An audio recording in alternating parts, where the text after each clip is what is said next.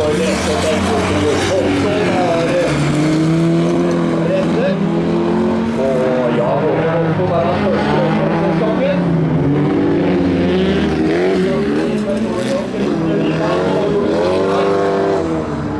Og eh, vår venn eh, Snippen er også hans første for sesongen, ja.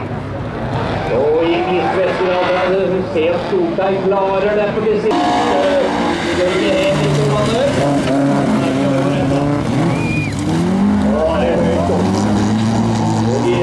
3 begynner Harry Martinsen å stelle på.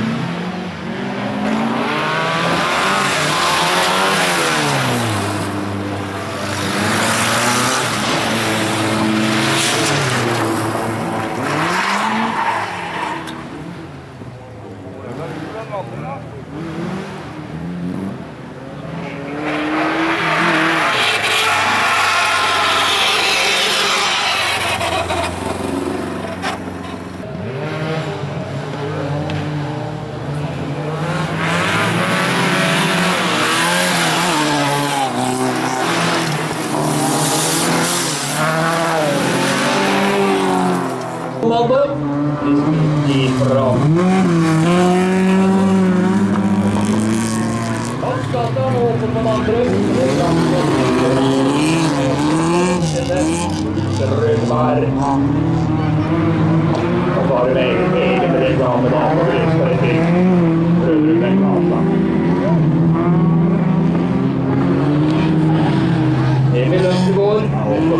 det er det en ving som eh.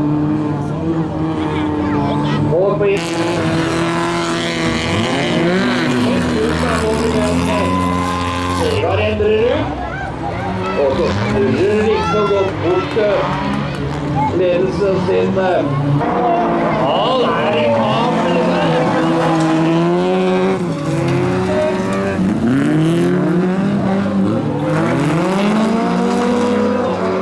Ja, ja, her er ingenting avgjort. Nå kommer også Kim Berg opp på denne feil her.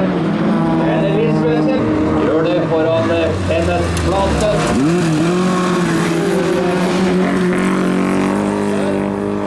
Så er det stopp på Anette Ottesen.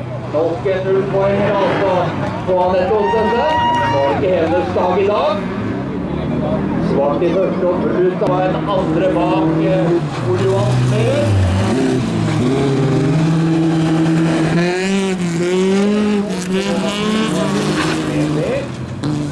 Er noen av som kikka litt, og da kom eh, Land for lå også. Det er godt. Eh, Jan Sverre. Hvor er alternativet? Kommer du raskt opp nå? eh? Østegård. Nei. Mangla noen der på meter. Ja, så være fortsatt i kommando. Kommer Østegård.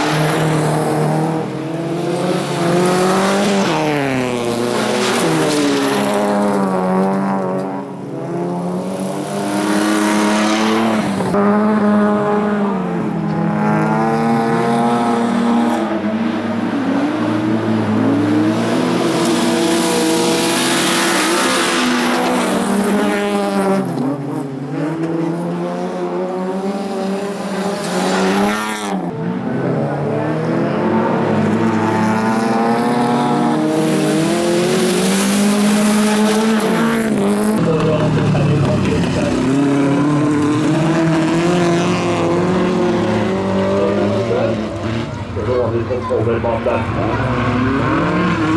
Og det er også forbi Martinsen. Og så er det Riborg nede på en fjerdeplass i dette øyeblikket. Lite midt foran deg, Vegard Aasen.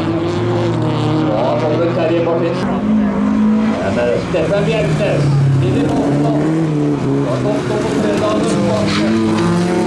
Og så det litt automatkjøring der på Kristian, men eh, tok den fint inn igjen. Og den pakken mener jeg non-stop reising. Og så har vi vår menn fra Valdres Sykdommer.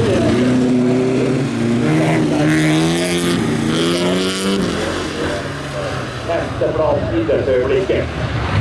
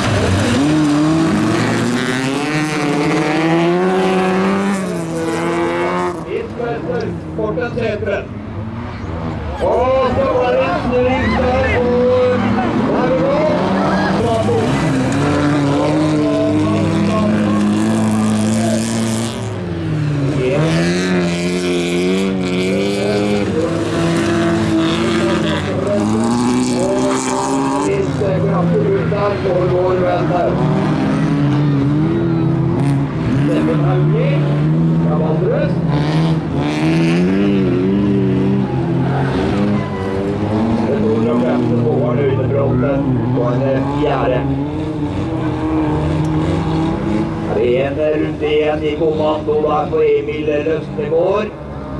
Foran med Matkassa.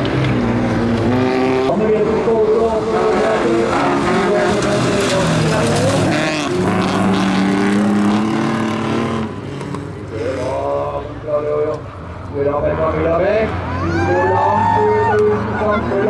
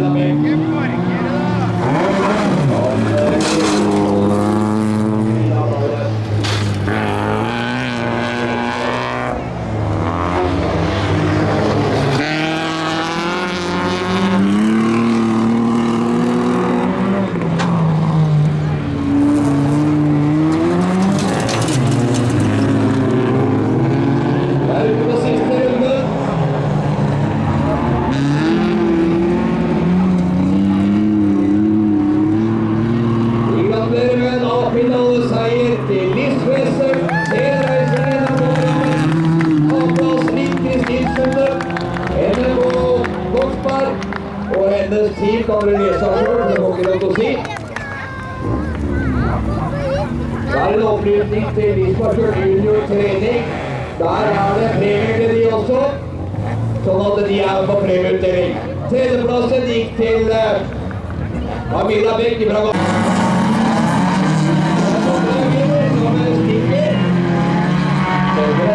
er en mannsfasa, som henger seg veldig, veldig godt på der. Og så er det vel eh, Er det å flere der? Da må vi se litt av det mot. Det er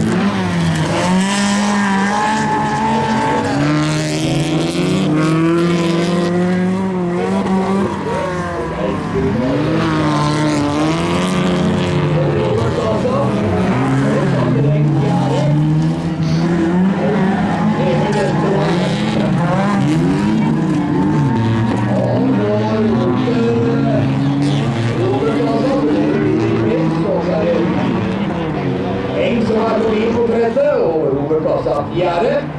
Det er fortsatt uh, hvor har vi alternativet? Fjerde. Ser sånn ut.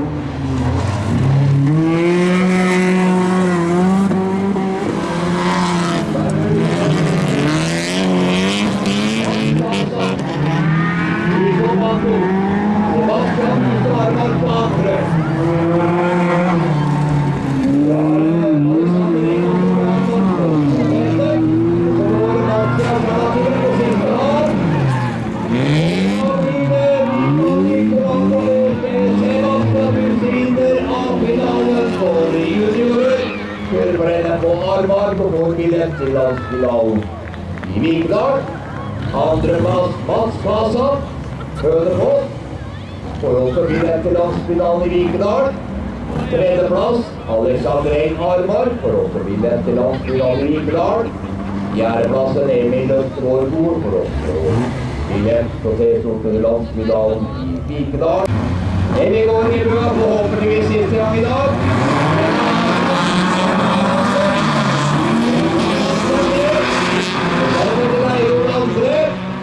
Så er det vår ringrev, da. Solheim. Storreising som skyver disse målene mellom seg, og Rødstolt er ferdig med alternativet. Så vet vi de andre har de. Rødstolt er ferdig.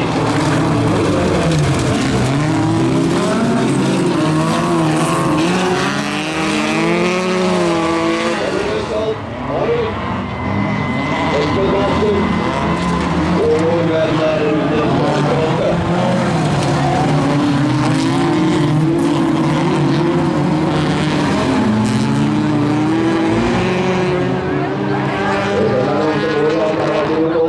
Og Petter Leihol gjorde det.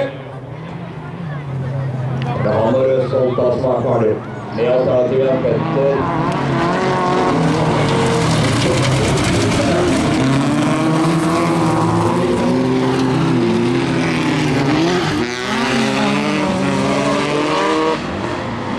Ja, så er det Kursen Reising på andre. Røsvold tredje. Leihol fjerde.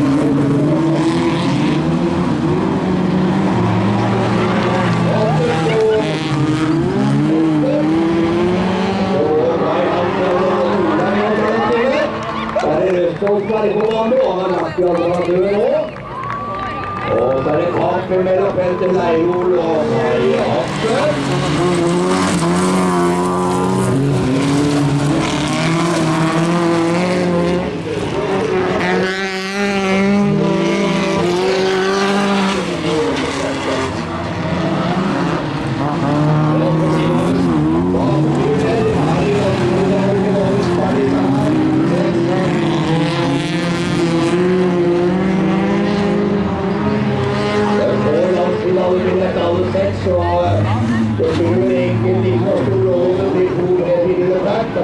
Og videre er stort. Og Marius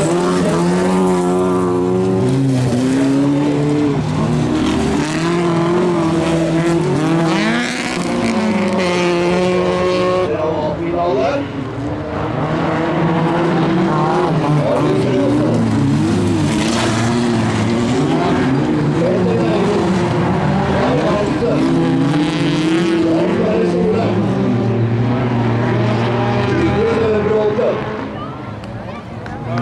Prøvde bare halsen seg på eh,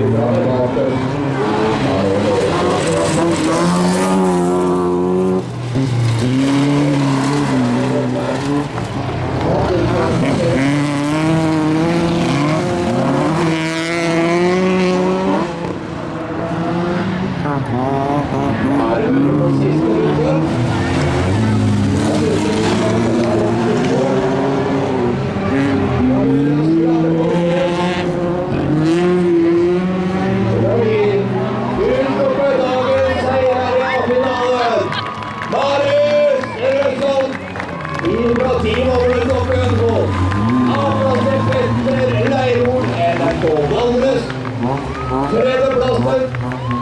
gikk til Jan Sverre Solheim. Torstein Reising, Humorløyken. Fjerdeplassen til vår venn Rune Kjønsbråten.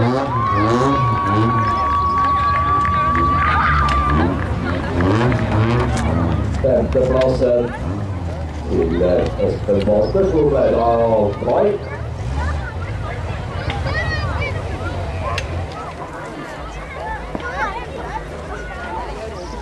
Da vil jeg på vegne av NRK Hønefoss takke publikum for en kjempedag her oppe. Og for de som ikke følger oss på